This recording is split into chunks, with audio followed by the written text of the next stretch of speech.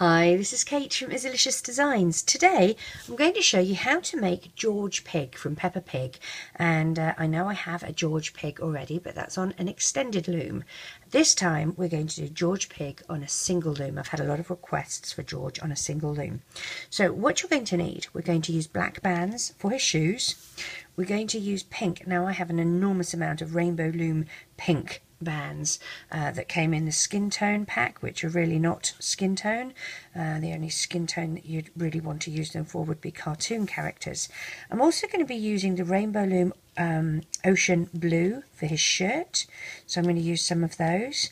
Um, I will be using, I've got two bands that are a different pink than the Rainbow Loom Pink and that is just to do his cheeks. I'm doing them in a slightly darker colour so they look a bit rosy. I'm also going to be using some googly eyes. Now these ones do have a cut on the back here so that I can slip my um, band through them and uh, enable me to place them on my loom.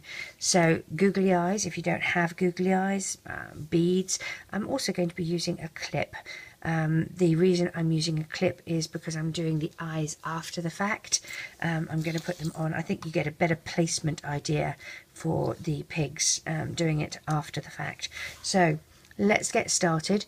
We're going to be using a single loom as I said. It's going to be in the standard configuration. All the columns to start with are going to be the same height. We are going to be using the move it forward technique. So you'll need your base removal tool which is on the back side of your rainbow loom hook we um, are going to be double banding. The arrow is facing towards us on our loom, so the open part of the peg is facing towards us. And as I said, we're double banding. Double banding means you take two bands and you place them on the pegs together as if they were one, and it gives the uh, result, the, the figure, a more robust feel to it. So let's get started. As I said, because we're using the move it forward technique, we will be using lead bands. So we're placing two here that are going to look as if they're doing absolutely nothing for the moment. Let's take another two bands and we'll place them here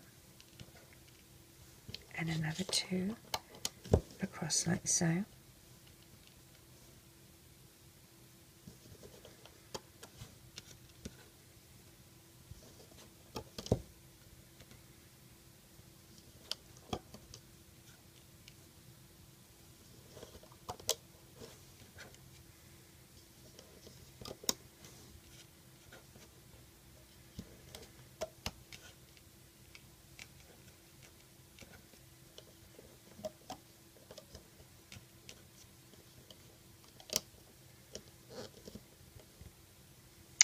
Many of you know, but there is a Peppa Pig World in England. And when we were there last visiting family, we went. Well, Izzy thought it was the best thing since sliced bread. It was so cute. So I've placed my bands like this. Okay. Now, obviously I'm going to need lead bands to come down further from here. Okay. Um, and to be able to do that, I um, I'm going to lift this one up and place those here underneath it like that and then place that on top. All right now I'm going to place a crossover band from here to here. Okay. Now the other thing that we have that's happening is part of this needs to happen down here for blue but I want to free up this little space here first. So to do that what I'm going to do is take a single pink band, wrap it around my hook once and twice, and place that right here on this spot, okay? And I need to free this one up to give me some space to work.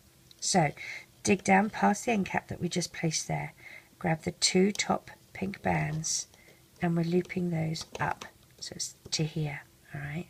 The next two top pink bands get looped to the side here and then these top ones get looped to their corresponding side.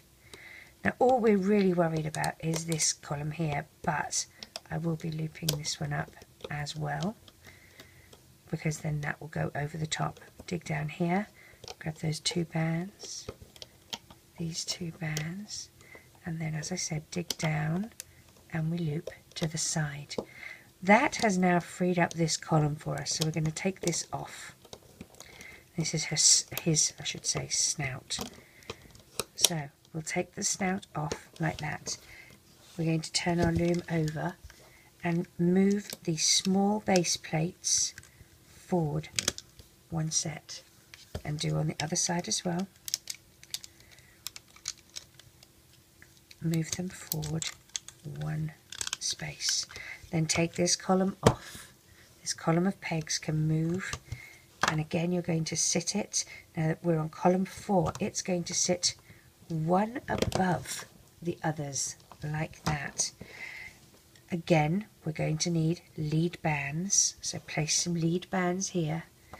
All right, and then with these lead bands that are sitting here on the middle peg, you're going to pop those over to there.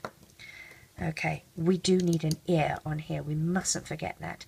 But let's place a few bands first, like that. Okay, take a single band, wrap it once and twice, and you're going to place onto a pair of pink.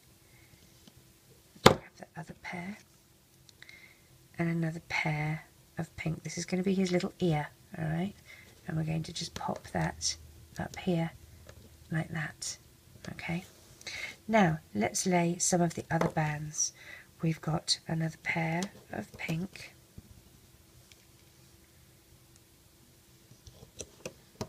Pink and pink now, at this stage, we do have quite a few lead bands that we need to do.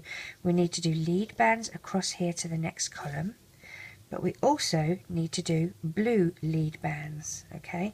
So let's put our lead, ba uh, lead bands that were from here on, and we're moving this across to here, okay? Now we're going to get some blue bands, all right and our blue bands this side is going to go across here but let's trap the one that's going to go over here as well. So we'll put that there, just doing nothing, okay, it's just sitting there looking beautiful, and place our first blue here, all right. We're going to do more blue. This is going to come down to here. We're doing his body, all right. We're coming down one pair, two pair, and three pair. And then we have to come down here as well. Keep those there.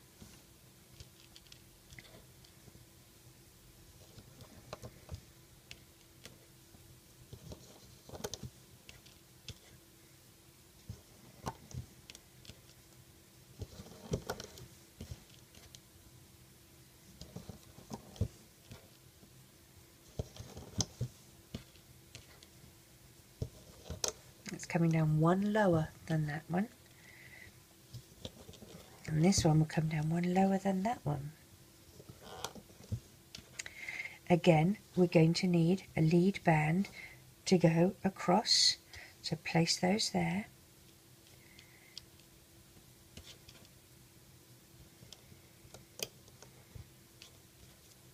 And it is important how you place these bands because the whole looping process you know, takes part in in the order in which you've looped. So that's why I'm being very specific where I, where I place them. Uh, we're going to come back up here. We're going to drag this crossover band to incorporate the one above it here, okay? Now at this stage, we probably need to do um, a crossover band from here to up here, okay?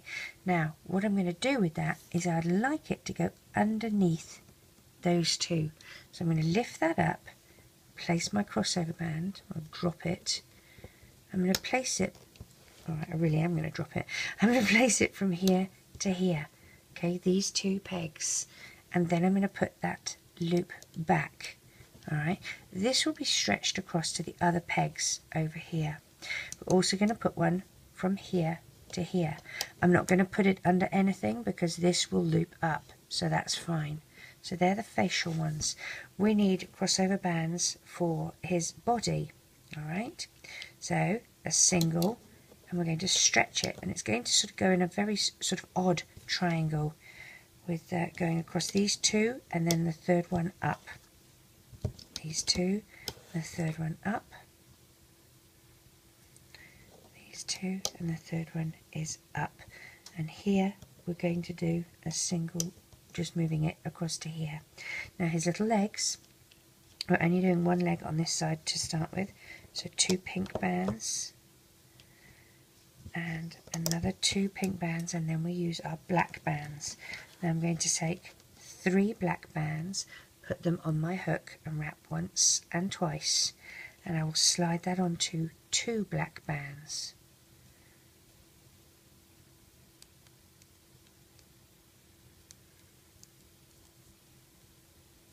like that. Slide that down my hook a bit. Take another two black bands and wrap once and twice and then take the end here and reclaim okay? Then I'm going to slide that onto two black bands. So I'm going to do the first two loops first and then the twisted band that I did the one I wrapped around my hook like that and then these two.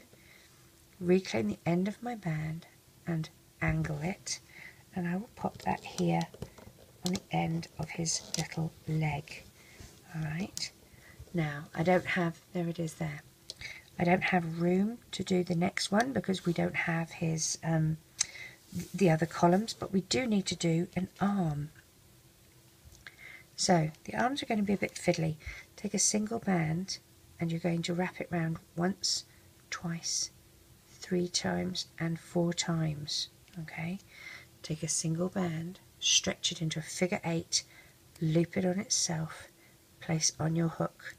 You're going to move that wrapped band onto that looped band. I just chopped all my nails off the other day, so it's trickier. And reclaim, slide that back on. We're going to do this so that we've got two more. So single, wrap once, twice, and three times, and four times. Single, stretch, figure eight, and we'll move that on and reclaim last time. One, two, three, four. Stretch, figure eight. Slide that all on and reclaim. Now we're going to slide that onto a single that you're stretching and figure eighting and we're going to slide those on like this okay? And then reclaim the end of your band. And this is forming his little hand okay? Okay move that down. We're going to take another band wrap it once twice three times. You're going to move these two loops here over the top so that that looped band is in between like that. Take a single stretch it into a figure eight and loop. And we're going to move all of those on. So there's the first bit. And then we have to do this loop the, the twisty bit. And this is tricky okay? I'm not going to tell you fibs. It's tricky. Do it the best you can. And then the second um, loop. Reclaim the end and that makes it look like he's got a little palm okay now we're going to do four more, so figure eight, loop it on itself, move those across and reclaim. That's number two, let's do another. That's number three.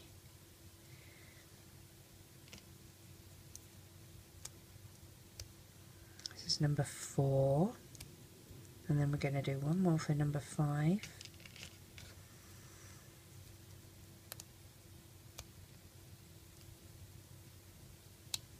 like that. And this is going to sit here.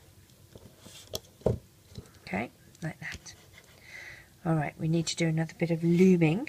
So let's dig down here grab these two pink bands and loop those to the one ahead and we're going to loop these ones to the one ahead as well now really all we want to worry about is this column, this first column, but in order to get there we need to do the second column as well. So we're going to dig down and find the two top bands. Now remember you've got this crossover band here, so you need to go under that crossover band to find the two top bands. Okay, and then find the next two top. You're getting rid of that crossover band, pushing it out the way. They go down here. Alright, grab this and loop up. So loop this center column up all the way to here. Okay, and then we can loop this first column up. It is fiddlier when you're doing it on a single loom. Uh, as I said, I do have the extended loom version, so if you have more than one loom, it does make it helpful. But if you just have the one loom, this is all you need to do. Alright, so we can take this part off, but we also need to take this part off as well. Okay, before we do that, let's have a look at what we need to loop up. This one needs to come across. So dig down and find the bottom two pink bands and loop across. Now I do understand that when we loop this column up we're going to be lifting this up again but that's absolutely fine. Let's take this off our loom very gently. I use my hook to help me. Okay, there we go. And we can now take this off the loom as well.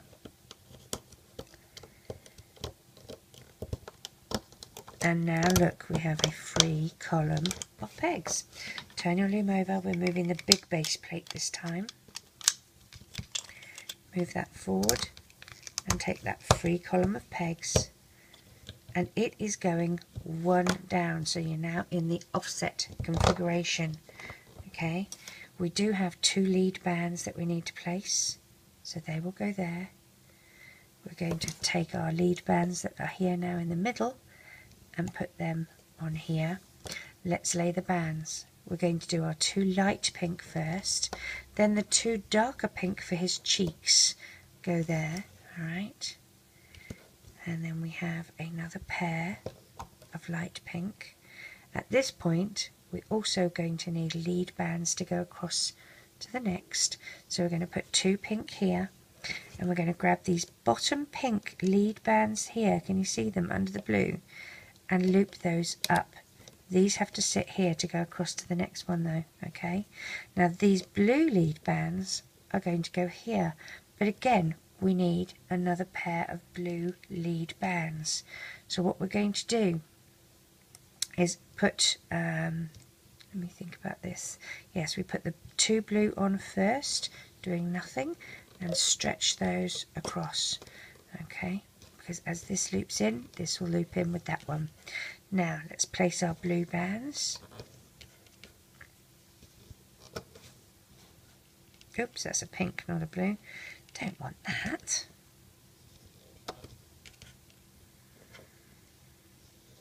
Now this one has to stop one above, which is here.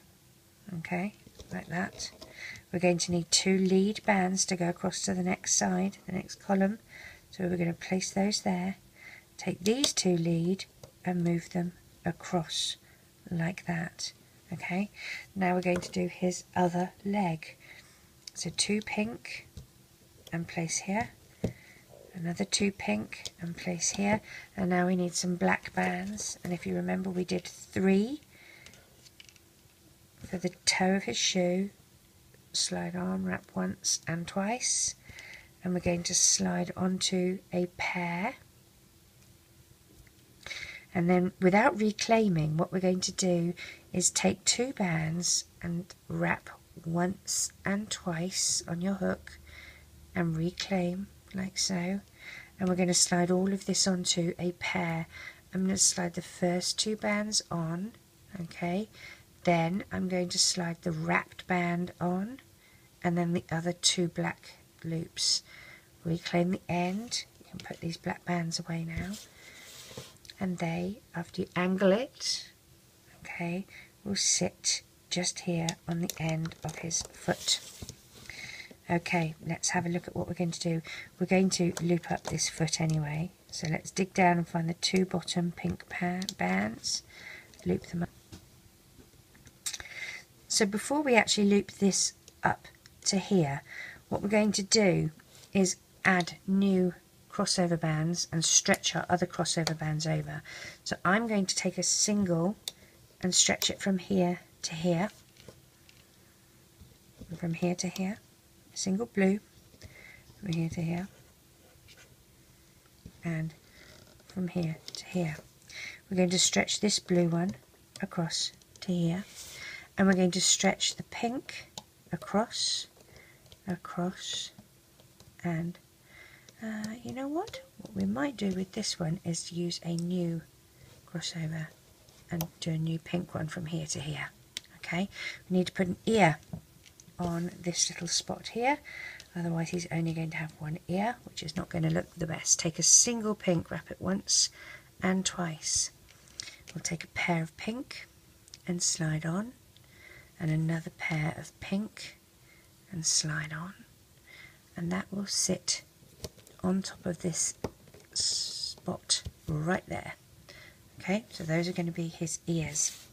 Alright, having a look here, we've got our lead bands which are going to go to the next one here, but we sort of want these to look the same. So I'm going to loop this pink one up here, but then instead of looping this one across, I'm going to dig down past that end cap, alright, grab these two top bands, and to make it so his legs look the same, I'm going to loop that one to the middle all right, okay and then I will dig down and find those two bottom blue bands and loop those up. That's just going to make them look uniform on both sides loop this all up. Now we want to um, let's loop the center first then the shoulder to the neck. Okay, we're going to do this side here. You need to dig down and find the two top pink bands and loop them to the side here. Alright, then the next two top bands to their side. We're still okay because that's going over there. And then you can do the middle one up here. Now, what we're going to do, Remember how I said we're going to lift the top band up so that these ones can go across. That's what we're going to do here as well. So dig your hook and take those two top bands that you've looped already and hold them in your finger. Dig down, find the two pink bottom bands and loop them up. Then you're going to loop this over the top again, like that. Now dig down and find the bottom two bands and loop up. That can stay there stay there. Again, lift this up, these two bands, hold out to the side. You're going to loop up and you're going to replace.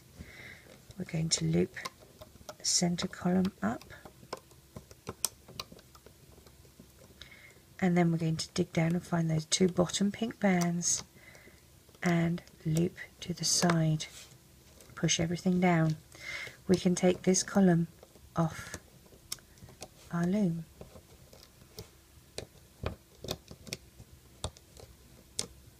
And this one.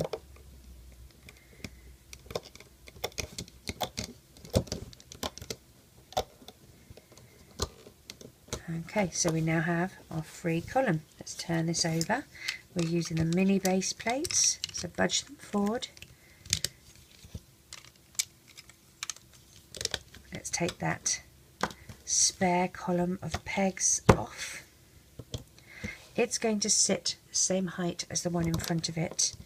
Okay, now this is our last time we need to pull the lead bands over, so we don't need to have extra lead bands here. Alright, so take two pink and they go here, and then these two pink come up to meet that. Stretch your crossover bands over like so. Alright, Again, we don't need to have lead bands for the blue because this is uh, the last part that we're doing. This is going to get stretched to here. We mustn't forget to put our hand on, so let's put our bands first. You're going to stop here, so you've just got the three, and then these blue ones stretch across to here, and these crossovers stretch across like that. We've got our foot, but we need our arm. Remember the arm was quite fiddly, if you remember. So take a single, wrap it once, twice, three times and four times. Single, figure eight, loop it on itself and you slide that wrapped band onto it. This is how we're forming his fingers. Okay, so there's one, we need three. One, two, three, four. And the reason I'm doing them looped on themselves and so tight is to make them smaller. We had a discussion in um, a UK loom band group yesterday about what happens when you cap the band. So basically you're taking it, you're doing a figure eight and you're re-looping it on itself like that. Makes things smaller and tighter. Single band, wrap once, twice, three times, four times and slide onto that capped band if that's what you want to call it. I call it a looped band. Then I'm sure my terminology is different from loads of other people. Reclaim. We're going to take a single band, figure eight, loop it on itself, slide these all on. There's one, there's two, and there's three, and reclaim the end. Now we're going to do the little bit that makes the uh, the palm. So take a single band, wrap once, twice, oops, and three times and slide these two loops over the top of it so it's centered in the middle like that. And you're going to take a capped band, loop it, and we're going to slide this over. So there's the first two. Now we've got to do the wrapped band. And now the other two loops.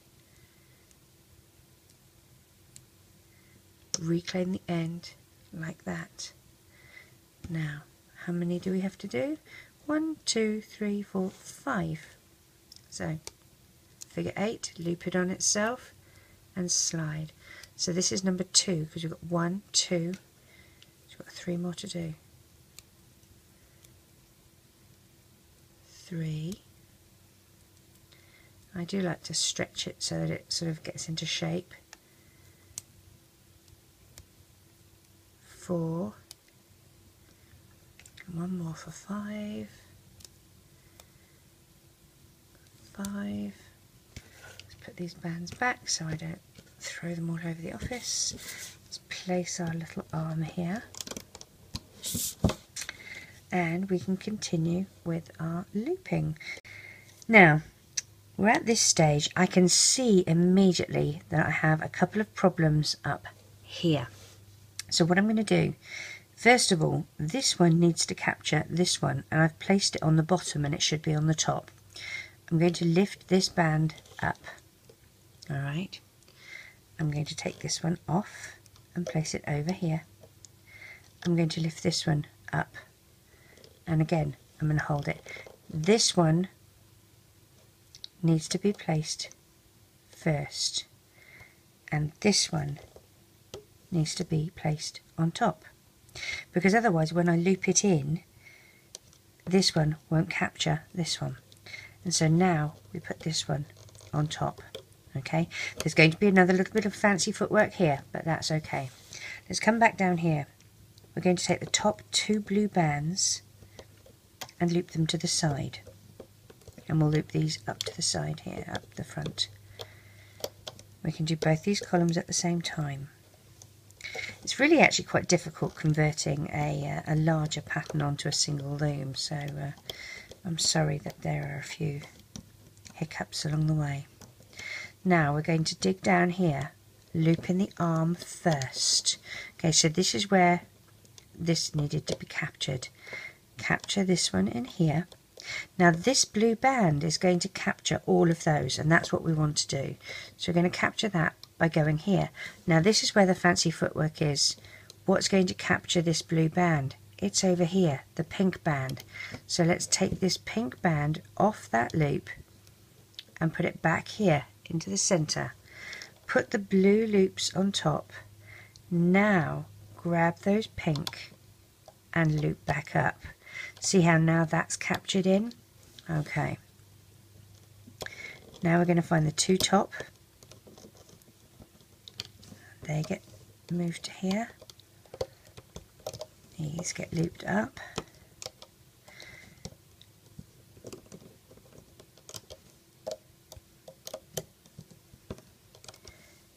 The outside bit first.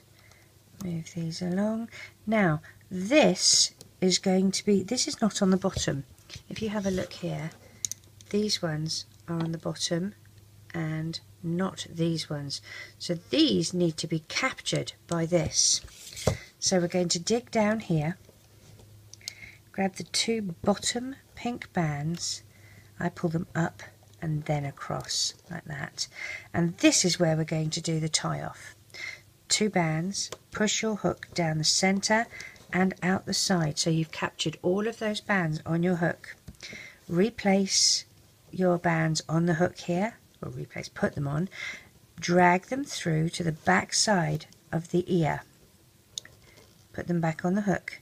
You're going to be moving those up and over, but make it so that the ear is at, at the front, if you possibly can. Okay, like I haven't captured that very well, but I can pull that ear out a bit. There we go. And tighten that behind the ear, like so. Alright, let's take him off the loom.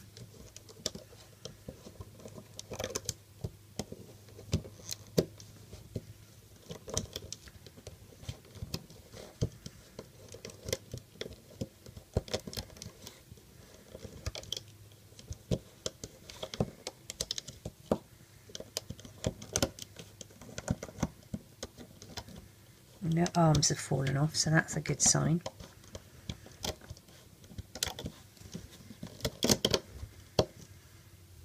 And there he is. Pull him into shape.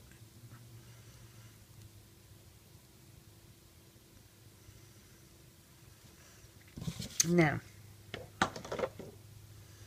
looking at the back here, there's the tie-off band around the ear. Okay, it's not very tight if you feel that that's a little bit insecure, grab your hook. See how? There it is there. There's the other side of it. So let's make sure we tie that off properly um, into a proper slip knot. I don't want that coming undone. So drag through like that. Now, I don't feel that that's very secure. Um, I'm going to leave it in just for a second because I can incorporate it into the clip that I use to hold his eyes. So here are his eyes. So as you can see, I have these little eyes that have the split already in them. If you don't have um, googly eyes with the split in them, you can get normal googly eyes and I have a video on my tips and tricks playlist on how you can make this little slit in the back of the eyes so that you can thread your band through, which is what I'm just doing now. I'm using a metal threader and you can make one. Again, I have a tutorial how to make one out of a twisty tie. Um, so you can just thread your beads or your bands or your googly eyes with one of these. You can use floss as well if you choose. I prefer to use the metal threader as I feel it's a little bit more robust. So there we go. Um, as I said, if you don't have those kind of googly eyes, you can use um, the normal googly eyes and you cut a slit either side here with a pair of sharp scissors or a knife. Get a grown up to do that for you. Um, and that works just as well. So, as you see, I've got my tie-off band here and I'm just going to leave that there for a second because I'm going to place the eyes. The eyes are always a little tricky and the reason I don't do them on the loom is because I sort of, you want to place them at the right spot. They're sort of placed here and here on the front of his head. So position the eye where you want it to be and stick your hook through the back side of his head to the front and pull one side of the loop through to the back like that. You are going to need your clip Okay, so here's my little clip that I have and I'm going to pop my band on that. Now the other side, okay, here's the other side of that band. I'm going to go through a different spot at the back of his head, grab the other side of that band and pull it back. So there's the other side, all right? Now, I like to condense how many bands I have at the back. So I've got both of those, I've taken the clip off, I've got both of those loops on, on my hook.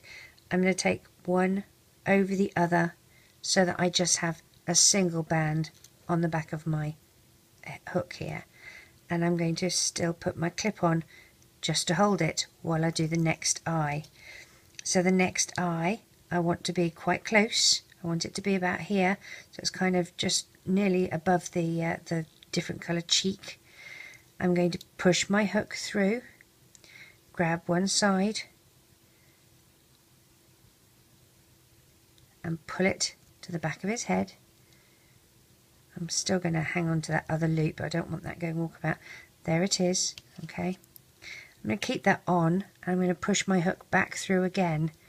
And I'm going to make sure that I'm in the right spot that I need to be. And you can fiddle around with this as much there we go. I'm quite happy with how those are.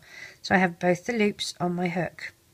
Again, I'm going to take one over the other so that I just have a single loop on my hook. I'm going to swap sides with it like that. I'm going to take the other loop from the other pair of eye, well, the other eye, not pair, and again, I'm going to take one over the other so that I have a single loop there now. I'm going to grab those tie-off bands and I'm going to drag them through that eye loop. Alright, I'm then going to attach my clip and this is one of the ones that I do use a clip with and then I'm just going to put that clip down here somewhere that it's not stretched out of proportion but that it is still um, giving it some some stretch. So there's his little face. Now for his smile, I'm probably going to use a black band because he's a boy and I don't want him to look like he's got lipstick on. I'm going to take a single black band and snip it one side. Okay, and what I'm going to do, I'm going to position where I want his mouth to be and I probably want his mouth to be sort of like that. I'm going to push my hook through his face where I think that I want his mouth to appear, loop that band in my fingers. So make a little loop like that, pull one side through and hold the other side in my fingers. I'm going to just nick through one side of that pink band there, like that, so that I've still got it on the outside here but it's on the inside of the other side, if you see what I mean, like that. And then all you do at the back here is tie a little knot. Let's put my hook down so I can actually concentrate on what I'm doing. Tie a little knot like so. Position it where you want it and then you snip these ends off so that they don't uh, protrude through to the front of his head. Don't clip them, don't snip them so close that they're going to unravel, but if they do, it's easy enough to, to fix and do a new mouth. But there you have George Pig. I really hope you enjoy making him. Take care. Bye-bye.